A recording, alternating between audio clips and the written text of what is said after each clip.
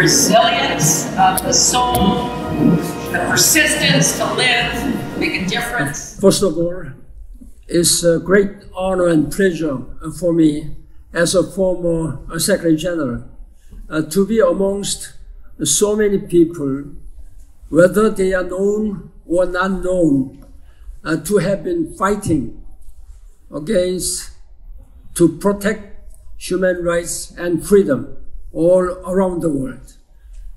The United Nations Charter, there are three major purposes. One is uh, peace and security, and sustainable economic development, then human rights. These three principles are closely interrelated.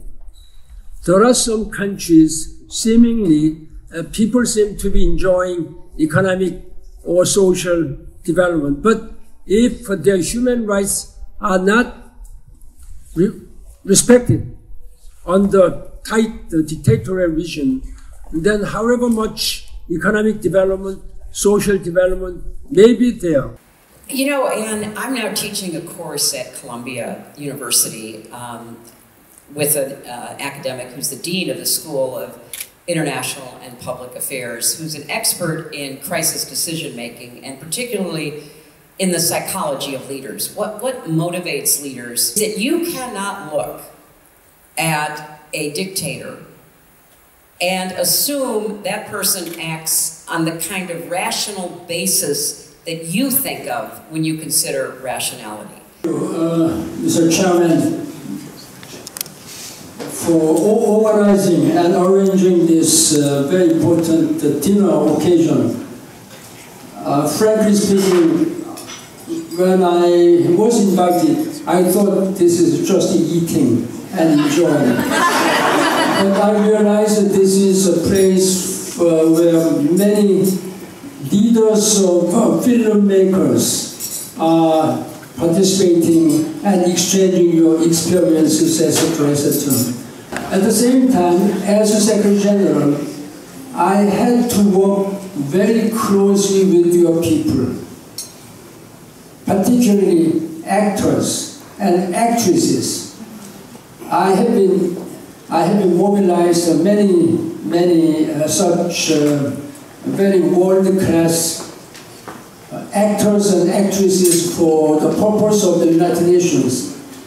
Uh, for example, uh, Michael Douglas uh, is a member of uh, Peace Envoy of the Second General. And what is his name? Leonardo.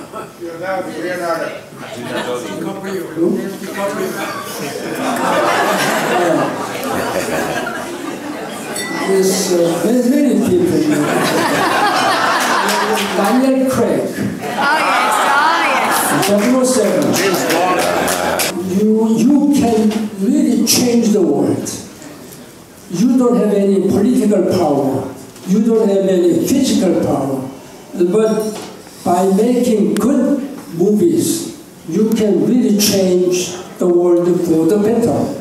World is now going through all this dangerous path because of the uh, climate climate changes, etc. So this may be one of the ways you can contribute uh, to the work of the United Nations. Even though I'm no longer Secretary General, uh, I've been touring the world and speaking about uh, women's rights, climate change, sustainable development, human rights, etc., etc.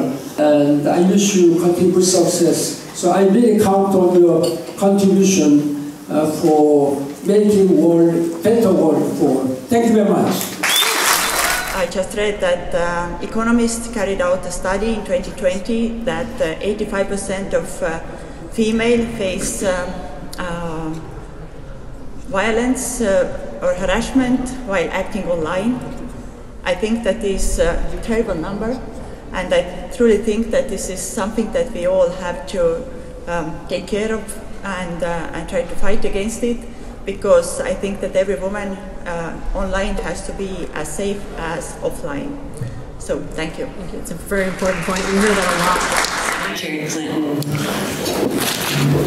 Hillary, you've given voice to the voiceless. And I know that because you inspired me personally so much. You said, you can do anything. You should do anything. Should do everything. And women in the world, I want you to hear this again.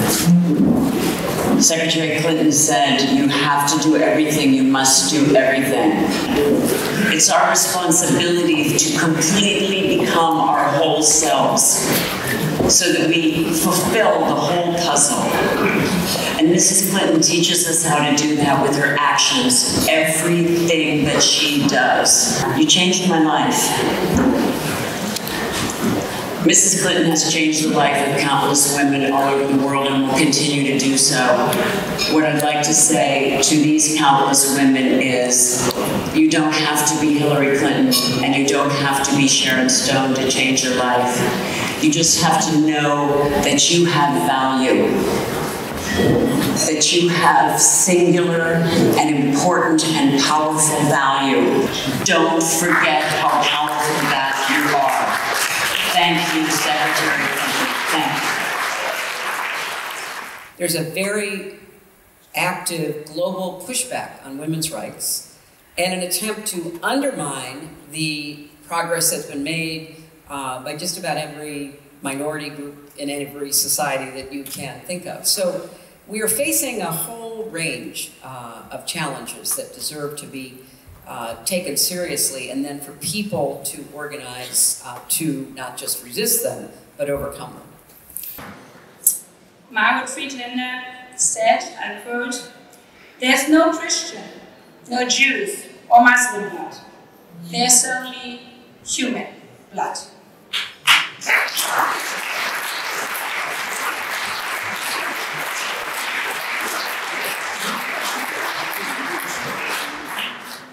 Annalena, thank you. Thank you for what you said, but more than that, thank you for being on the front lines. Thank you for being a foreign minister in a time of great tumult and difficulty and doing it uh, with such strength and grace. I really uh, appreciate it. To my friend Sharon Stone, who literally can look amazingly beautiful in anything.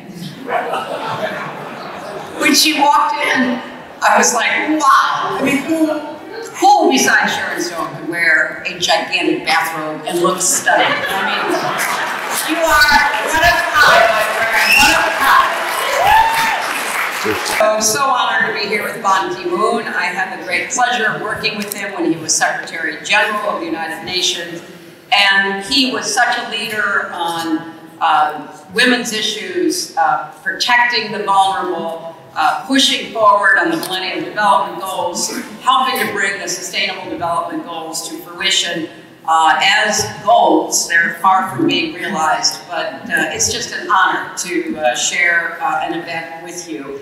And to Margot Friedlander, the 102-year-old Holocaust survivor, uh, who lived in New York for many years, but now is a resident of Berlin, we are so proud and happy that you are here.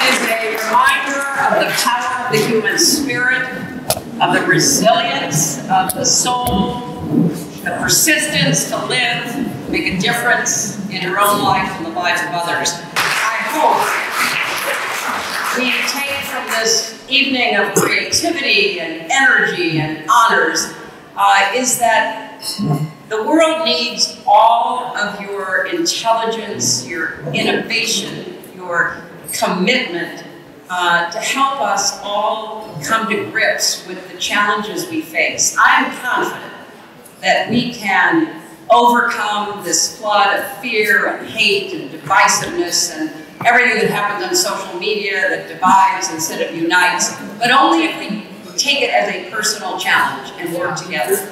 And Cinema for Peace, thank you for reminding us of the power of the human spirit, the power of shining that great spotlight on people like Zarifa uh, from Afghanistan who can inspire us and through that inspiration, enable all of us to do more, as Sharon said, than we ever thought was possible. Thank you both so much.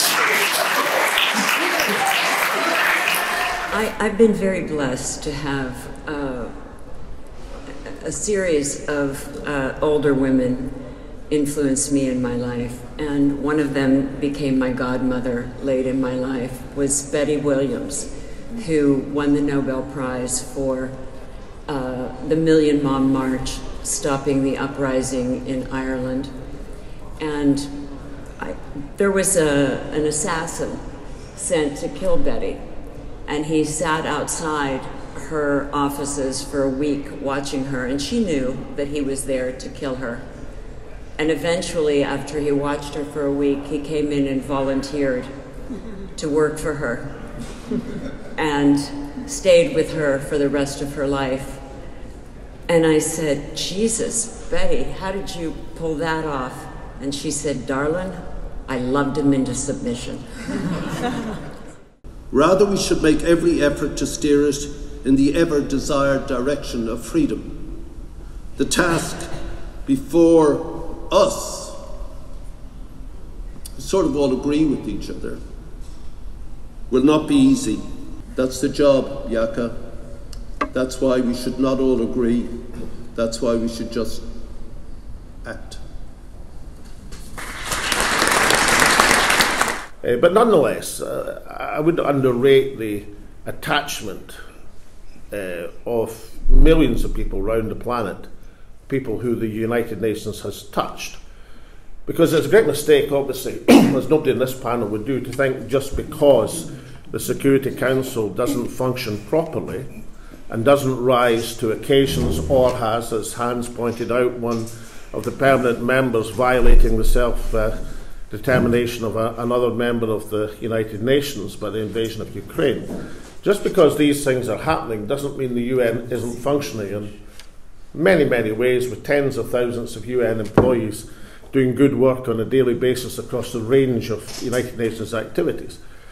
But nonetheless, there is a danger that if the UN stands immobilised, as it does at the present moment, as Gaza is demolished brick by brick and 20,000 or more people, innocent people, have already died.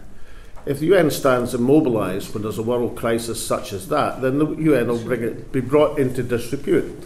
So really, this is to all all young women um, out there. When you keep, first of all, keep going. The stats can be off-putting. In Germany, like uh, like the UK, ranked 45th in the world in terms of female representation in Parliament. But we keep going and we keep at it because we have to keep going. But don't ever be ashamed of being a woman as a leader or feel you have to overcompensate because you are a woman or feel you have to stop being a woman when you become a leader. Because what makes leaders the best leaders is the ability to empathize, to understand, to feel for humanity. Because if you lose that, you can change nothing. Like in the Congo, eastern part of Congo, there's been this conflict going on for a long time.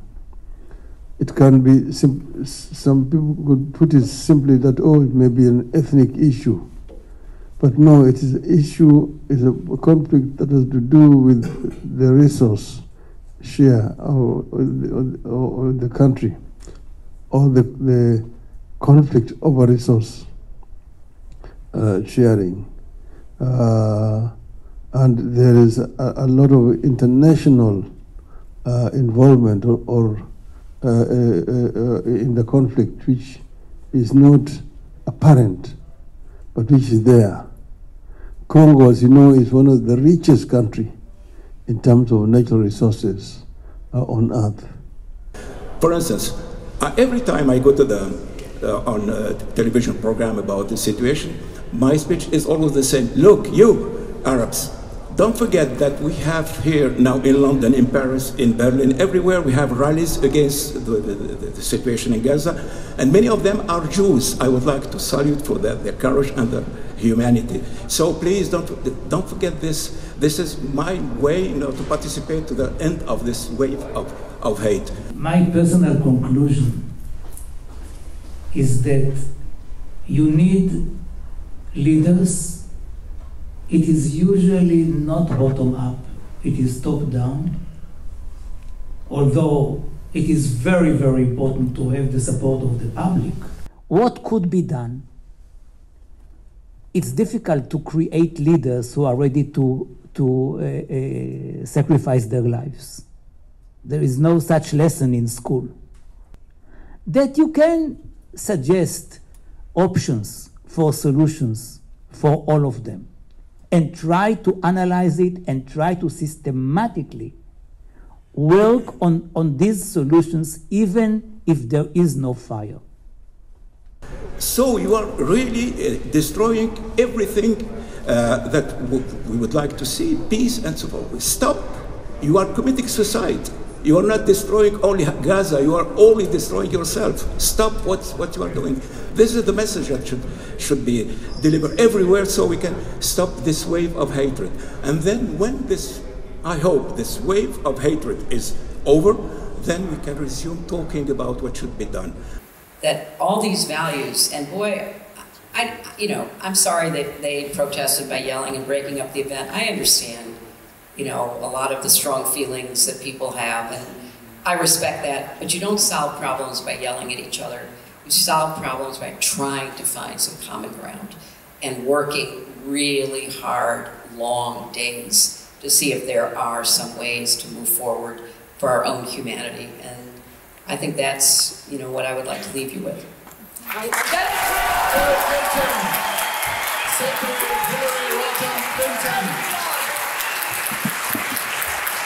Thank you so much for concluding our World Forum.